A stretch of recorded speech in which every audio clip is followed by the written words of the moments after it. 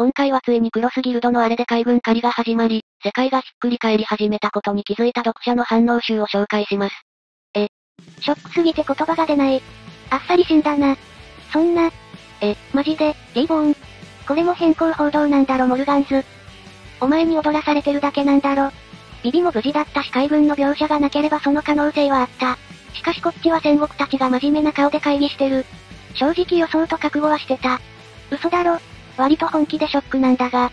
まさかの慣れし、いやこれ実は生きてるとかあり得る。さすがにないはあっても冷めるし。おつるさんと戦国が言ってるから嘘ではなさそう。まさかこうなるとはな。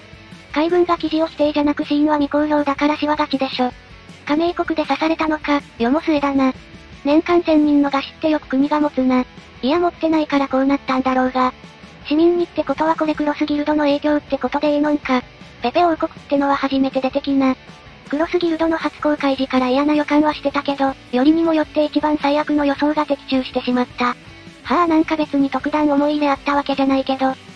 なんかねすげえ悲しい。クロスギルドの仕業か。おだっち嘘だよな。ヒゲがまっすぐすぎる。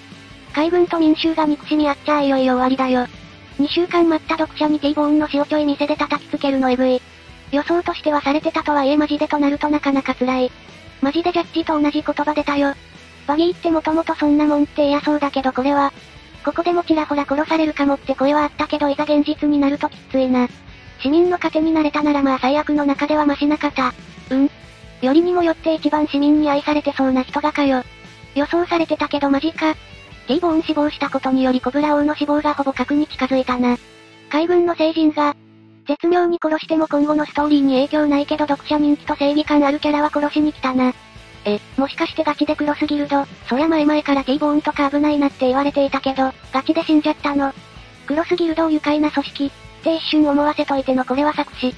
そもそもクロスギルドは愉快な組織じゃないし、アラバスタでクロコダイルがやったことを考えたらね、悪辣さならどの悪役よりもあった。あの、タシギちゃんとスモーカーが一緒にいないのってもしかして、スモーカーは仮にもロギアだし一般市民に同行はできないと信じたいが、魚誰も死なないでって言ってたじゃないか。海兵に懸賞金かけますって話出た時に一番危惧してたことが起きた現実嫌すぎ。ここでも成人海兵である T ボーンとクロスギルドの考察は出てたが現実になるとはな。海兵仮システムで最も心配されてたメンツの一人とはいえマジか。クロスギルドがやったんじゃなくてクロスギルドが制定した制度がついに牙を向いた感じか。クロスギルドの策略なんだからクロスギルドがやったで間違いないでしょ。むしろ自分の手を汚さない分より悪質。クロスギルドの懸賞金システムについて発表された時に明日のファンにも困るような国の一般市民が海兵を懸賞金のために襲うだろ。という予想はずっとあったけどとうとう現実化したか。できるだけ無ごたらしくクロスギルド全員くたばってくれ。無理だなここまで生きてる時点で。クロスギルドアンチじゃないけど超見たい展開ではあるな。T ボーン大佐は死に際何を思ったんだろうな。私は、お前の死を受け入れることができん。涙も出んのだ。なぜかな。T ボーンよ。蘇生呪文聞いてくれ頼む。クロスギルドから懸賞金ぼったくるための狂言だと言ってくれ。王国と民を救うために世間的に死んだってわけでもない。賞金出してもらったらそれで助かるんだろうし。きっちり遺体までクロスギルドに確認してもらってから引き渡しなのかな。クロスギルド貴様金欲しさに市民が T ボーンやる可能性はまあ予想もされてたけどやるならそこら辺はちゃんと描写するかもと思ってたんで慣れしはダメージでかい。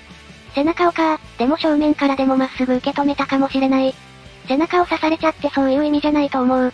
なんか市民に狙われたとなっちゃ T ボーンさんも手出せなかったんだろうな。あの人がいい人すぎたばっかりに。仮にも中将だし市民相手に攻撃できないところを数で押しつぶされたんかな。実はあの世界って一部のバグを除けば実力者にも不意の銃や刃物は致命傷になるんだ。もしも海賊と戦ってる時に後ろからやられたら、その辺は白ひげとスクワードという例もあったな。よりにもよって T ボーンさんが市民の手によって、手の傘なんかすごい切ない。なんでこんな悲しいことが起きるんだ。T ボーンは中将に出世したのか未階級特進かわからないけど、コビーの懸賞金額考えると一生遊んで暮らせる額は暗殺犯の手に入ってそう。嘘だ、こんなの嘘バレだ。少々から中将になってたのか。でも、今は減衰だな。推しってわけじゃないんだけどなんでこんなにショックなんだろうな。大佐クラスのレートってどのぐらいなんだろ。国一つ賄えるぐらいあるのかな。どんな理由があれど殺した犯人とクロスギルドは一生好きになれんわ。犯人は恨まないでやってやれよ世界が悪いよ世界が。クロスギルドは元からクソ組織だから恨まれて叱るべき。やっぱり海賊は海賊っすね。いや、この人ほどの強さの海兵が市民に簡単にやられるわけないのはわかるけどこの人なら市民に無抵抗でやられたんだろうなってのが想像できるのがちょっと、ちょっと横になるわ。金がなきゃ生きていけないみたいなこと言われて武器下ろしてそう。抵抗もしなかったんじゃないかな。他人の傷のために自分が背負った正義躊躇なく破れる人だったから。なんか土日沈んだ気持ちで過ごすことになりそう。中将だから懸賞金かなり高そうだな。海軍に懸賞金かけるってネタが出た時に一番予想されてた展開だったけど実際にやられるときついな。経緯は知らんが非加盟国だったらむしろ国を挙げて殺しにかかるとこも出そうやな。それこそ事実上の海賊やら犯罪者の国とかボロボロ出てきそう。ティーボーン中将はいくらでも成人妄想してしまうから刺された後上に狂った市民の目を見て受け入れたのかもとか思った。じゃなきゃ一般市民が中将を殺すってなかなかできないだろ。いずれにせよクロスギルド許せんはこれは、死因は明かされなかった。だから死体はちゃんとあるっぽい。ええー、辛いな。市民に殺られたのか。刺した人も家族を養うために少しでも金が欲しくてやったんだろうな。たとえ懸賞金かけられても大差は苦しむ民間人のためだったらどこにでも行く人だろうから当然じゃあ当然の結果だったんだろうな。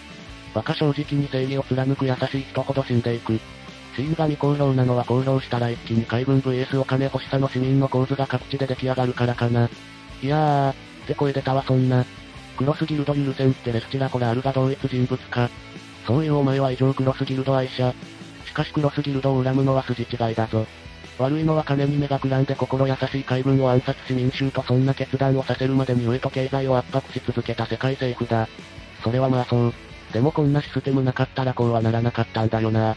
ただ遅かれ早かれな感じはする。加盟国出身であればおそらく貧困とかもティーボーンさん理解してるだろうしそれも含めてやられた可能性もあるよな。悪いやっぱプレイは。この世界刺された程度で死ぬとかあるのか。一流の強者は当たらないようにするかもしくは軽減するから死ににくいのであって既婚死なないわけじゃないからな。まあ街道とかマムとか当たっても問題ないバグ枠はいるけども。クロスギルドのこの海兵検証金システムは絶対クロコダイルの発案だよな。ほぼ間違いないな自分の手でやってなさそうなあたり。クロスギルドも一般市民も殺す相手の海兵のことなんざ懸賞金星の数でしか見てないんだから虚しいよな。犯人の家族が幸せに暮らしてる、え。年間1000人以上の餓死者が出てる、あ、だから、海賊が金目当てで殺した、じゃないからこそなんかやりきれねえな。わかるえ、なんでそれがわかるんだ。って思ったけど、クロスギルドからもらった懸賞金で食べ物買ったんだよなやりきれねえ。殺した市民がどんな感じかわからんけどさ、お前を殺せば飯が食える、明日も生きられる、とか言いながら震える手で狂気を持つ市民に対してさ、ものすごい悲しみと悪への憎しみとあらゆる感情の中でティーボーンさん診断かと思うとさ、なんという、なんという、市民の事情を知って自分の首で市民が助かるならと進んで首を差し出したとか、しそうだなあの人なら、